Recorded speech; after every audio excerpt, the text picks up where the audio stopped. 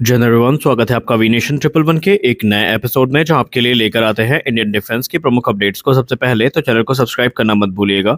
आज के अपने अपडेट की हम शुरुआत करने वाले हैं एमका प्रोग्राम को लेकर आई एक बड़ी अपडेट से। आप सबको पता है कि एमका प्रोग्राम में जो एयरक्राफ्ट का निर्माण है, वो एस मॉडल के अंतर्गत किया जाना है, जहाँ पर पब्लिक और प्राइवेट सेक्टर की जो भूमिका है, वो हमें देखने को मिलेगी। और आप सब इस बात से भी भली भांति परिचित है या अवगत है कि इस समय प्राइवेट सेक्टर कंपनीज़ को लेकर जो रिपोर्ट्स अभी तक आई थी, वो सकारात्मक तो बिल्कुल भी नहीं थी। लेकिन अब एक बहुत बड़ी रिपोर्ट सामने आई है। या दरअसल रिपोर्ट्स में कहा जा रहा है कि एक नहीं, दो नहीं, बल्कि दस से ज़्यादा कंपनीज़ जो है, वो आपस में कम्पीट कर रही हैं एयरक्राफ्ट के स्ट्रक्चरल असेंबलीज की मैन्युफैक्चरिंग के लिए, जो कि मुख्यतः तेजस मार्क टू टेडपीएफ और एमका प्रोग्राम के लिए है। और ये अनएक्सपेक्टेड था कि इंडियन प्राइवेट कंपनीज़ के बीच में हमें इन प्रोग्राम्स को लेकर इतना बड़ा कंपटीशन देखने को मिलेगा। ऑलरेडी तकरीबन पाँच से ज़्यादा जो मीटिंग है प्राइवेट वेंडर और आडा के बीच में वो हो चुकी है और इनके जो परिणाम रहे हैं, वो सकारात्मक रहे हैं। और बड़ी बात यह है कि ये एस मॉडल के लिए एक बहुत बड़ी भूमिका को सुनिश्चित करने वाले हैं। क्योंकि एमका का निर्माण एस मॉडल के अंतर्गत ही किया जाना है। शुरुआत में रिपोर्ट्स में कहा गया था कि जो प्राइवेट कंपनियाँ हैं, उनके अंदर हेजिटेशन है, क्योंकि उन्होंने कभी इतने बड़े प्रोग्राम को ज्वाइन नहीं किया है और उनके पास अनुभव भी नहीं है, लेकिन अब ये चीज़ें अब ये चीज़ें बदलती नज़र आ रही हैं और उनका मानना है कि वो इसमें अपना पार्टिसिपेशन सुनिश्चित कर सकते हैं और भारत के एयरक्राफ्ट मैन्युफैक्चरिंग प्रोग्राम को साथ में मिलकर आगे बढ़ाने की भूमिका को भी निभा सकते हैं। जैसा कि हमने आपको डिफेंस न्यूज़ की वीडियो में बताया था कि इस समय प्राइवेट सेक्टर कंपनियाँ जो है, वो ड्रोन टेक्नोलॉजी में और नेक्स्ट जनरेशन के जो प्रपल्सन सिस्टम है, इन पर काफ़ी बढ़िया काम कर रही हैं और आने वाले भविष्य में आपको उनके तरफ़ से बहुत सारे जो इनोवेटिव अप्रोच है, वो देखने को मिलने वाली हैं। और हमारी अगली बड़ी अपडेट भी इसी को लेकर है। हैदराबाद स्थित एक स्टार्टअप जिसका नाम ब्लज एरो है, इनके द्वारा सक्सेसफुली भारत का पहला हाइड्रोजन इलेक्ट्रिक प्रोपल्शन बेस एक वर्टिकल टेक ऑफ़ और लैंडिंग एयरक्राफ्ट प्रोटोटाइप जो है, वो टेस्ट किया गया है। अगर हम रिपोर्ट्स की बात माने तो ब्लेजरो ने एक रीजनेब एक उचित समय तक इसको एयरबाउंड कर रखा था, जहाँ पर इसके अलग अलग पैरामीटर्स का अध्ययन किया गया है।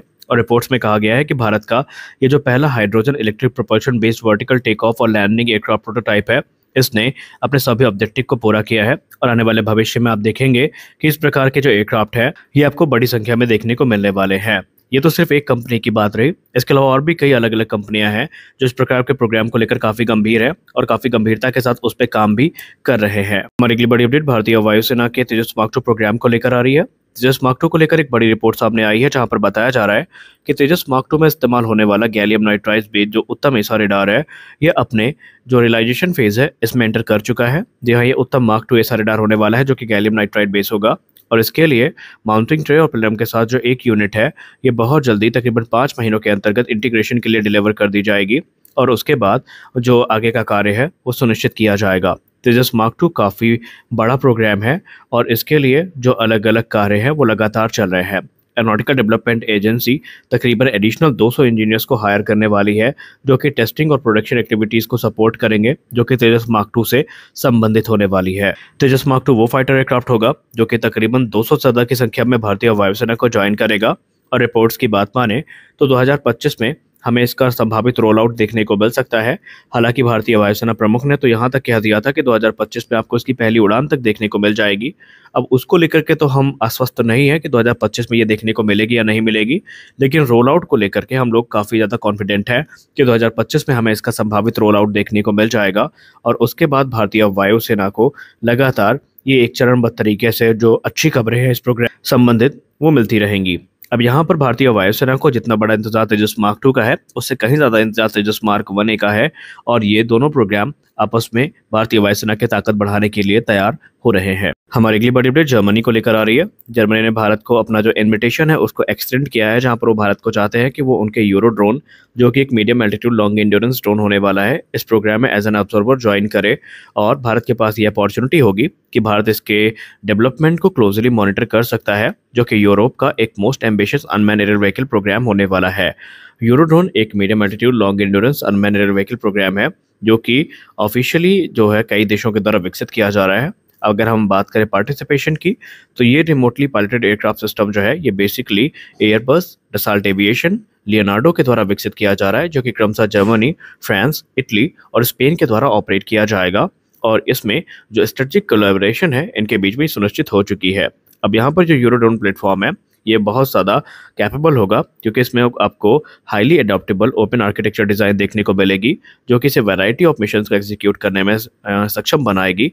फिर चाहे वो इंटेलिजेंस गैदरिंग हो सर्विलेंस हो टारगेट एक्विजिशन हो, या फिर रिकॉनेसेंस मिशन हो, ये सारे मिशन इससे एग्जीक्यूट किए जा सकते हैं। ये एक बहुत ही वर्सटाइल प्लेटफॉर्म होगा और इसमें आपको बहुत सारे एडवांस सेंसर्स देखने को मिलेंगे, जैसे कि synthetic aperture radar electro optical और इंफ्रारेड सेंसर्स देखने को मिलेंगे। इसके अलावा जो टेक्टिकल सिग्नल इंटेलिजेंस पेलोड है, वो भी ये कैरी करने में सक्षम होगा और इसे आम वेरिएंट के तौर पर भी इस्तेमाल किया जा सकता है या हथियार कैरी करने के लिए भी यूज़ किया जा सकता है। अब भारत को यहाँ पर जो ऑफ़र हुआ है, वो एक ऑब्जर्वर का रोल मिला है, जहाँ पर इसका मतलब ये है कि भारत सीधे तौर पर इसमें कंट्रीब्यूट नहीं करेगा, बल्कि इसके डेवलपमेंट को लगातार मॉनिटर करेगा, और ये प्लेटफॉर्म कैसा होगा, भारत के लिए यूज़फुल होगा या नहीं होगा, इन सब के बारे में भारत अपना जो निर्णय है, वो बना पाएगा। और ये काफ़ी ज़्यादा यहाँ पर एक बड़ा इन्विटेशन है। अब भारत इसको एक्सेप्ट करेगा या नहीं करेगा, इस पर अभी हम टिप्पणी नहीं कर सकते, क्योंकि ये अंतिम निर्णय भारत सरकार का है कि वो इसको ज्वाइन वो इसमें एज एन ऑब्जर्वर ज्वाइन करेंगे या नहीं। लेकिन जर्मनी ने जो ऑफ़र है, इसको एक्सटेंड निसंदेह कर दिया है। और अगली बड़ी अपडेट पाकिस्तान को लेकर आ रही है। मीडिया रिपोर्ट्स में कहा जा रहा है कि पाकिस्तान को जो फिफ्थ जनरेशन फाइटर एयरक्राफ्ट है, इसका एक्सेस 2030 तक मिल जाएगा। और ये भारत के लिए बिल्कुल भी शुभ संकेत नहीं है।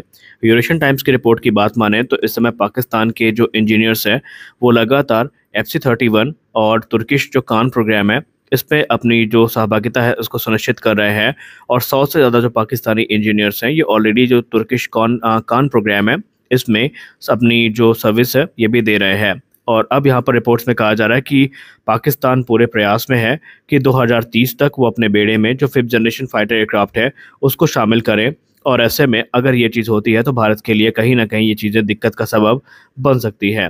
हालाँकि रिपोर्ट्स में कहा जा रहा है कि भारत के पास इस समय फिफ्थ जनरेशन फाइटर एयरक्राफ्ट के ऑप्शन के तौर पर ज़्यादा तो यहाँ पर ऑप्शन उपलब्ध नहीं है, लेकिन यहाँ पर इकलौता एक एयरक्राफ्ट है जो भारतीय वायुसेना के रिक्वायरमेंट को पूरा कर सकता है अगर इमरजेंसी की स्थिति बनी तो और वो एयरक्राफ्ट कोई और नहीं बल्कि एस फैलन है।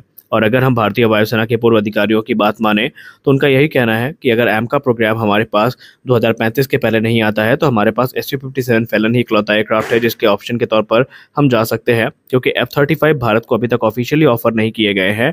और ऐसे में हम ये कह भी नहीं सकते कि भारत को ये कभी किए जाएँगे भी या नहीं। और भारत के लिए ये इस समय बिल्कुल भी सेंस नहीं बना रहे हैं, क्योंकि अगर भारत ने एफ़ थर्टी फाइव की तरफ़ देखा तो आपको ये बताया कि भारत अपने इंडियन मेड वेपन सिस्टम के इंटीग्रेशन की बात ज़रूर करेगा, और अमेरिका ये टेक ऑफ़र करेगा या नहीं, ये काफ़ी ज़्यादा अभी भी प्रश्न के घेरे पर है। हालाँकि अभी S four hundred air defence system के लेने के बाद जो एफ़ थर्टी फाइव के चांसेस हैं, वो ऑलमोस्ट ज़ीरो है, लेकिन भारत के पास ज़्यादा ऑप्शन भी नहीं है। और इसीलिए एक्सपर्ट्स ये मानते हैं कि भारत के पास S U fifty seven Felon के तौर पर एक लौता फिफ्थ जनरेशन फाइटर एयरक्राफ्ट है, जो भारत चाहेगा तो प्रोग्राम में फिर से ज्वाइन करके उसको एक्सेप्ट कर सकता है। तो आज के इस वीडियो में बस इतना ही। मिलते अगले वीडियो में कुछ और अपडेट्स के साथ। आशा करते हैं ये वीडियो आपको अच्छी लगी होगी। वीडियो अच्छी लगी तो वीडियो को लाइक करिए। नए हैं तो चैनल को सब्सक्राइब करिए। मिलते अगले वीडियो में, तब तक के लिए चाहे